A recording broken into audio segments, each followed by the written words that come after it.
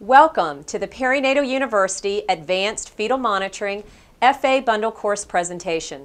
It is evident with communication errors, number one, and orientation and training, number two, improvement in intrapartum care is warranted.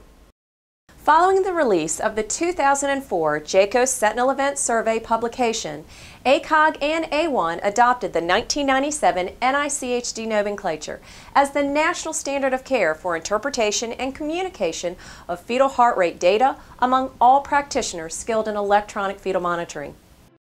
Today we will complete a case review from real-life obstetrical clinical scenarios. In following NICHD guidelines, this 14-minute sample strip contains two optimal areas for a baseline assessment. The presence of an abnormal baseline rate places this pattern into NICHD Category 2. Patterns that evolve from NICHD Category 1 to Category 3 impact bedside practice. Therefore, identification and management of fetuses at risk for evolutionary changes is key to patient safety and improved fetal outcomes. In sample B, the fetal heart rate continues for 13 minutes of bradycardia. These metabolic acidosis results would most likely accompany strip B. Medical legal malpractice involves determination of cause with the question, was the injury avoidable and foreseeable?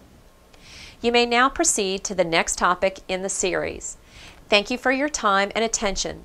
We appreciate your participation in our program. Have a wonderful day.